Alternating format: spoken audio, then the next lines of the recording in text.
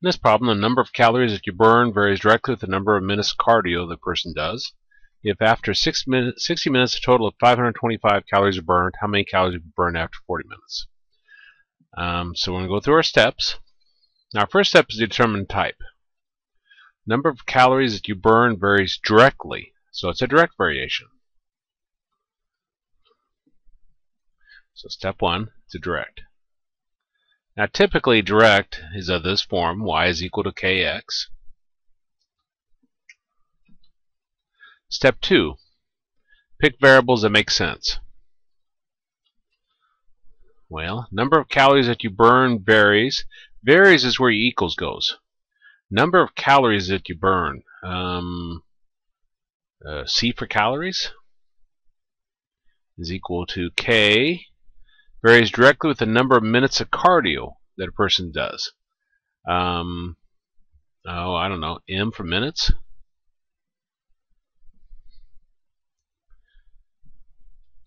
Step 3. Look for your one example, use it to find K, then plug K into your formula.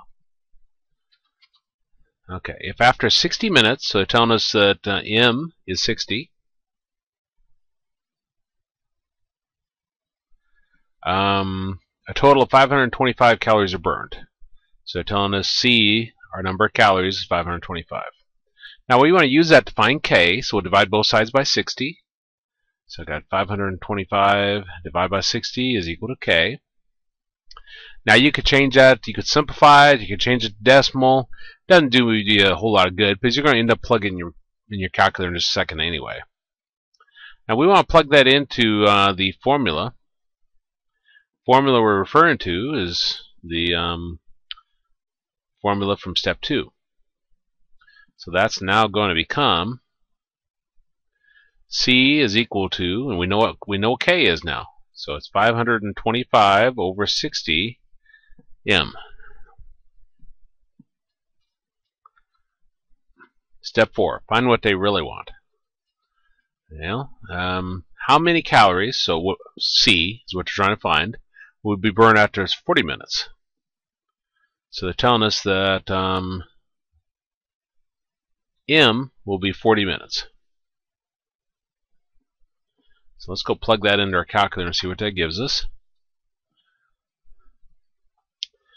Let's see. 525 divided by 60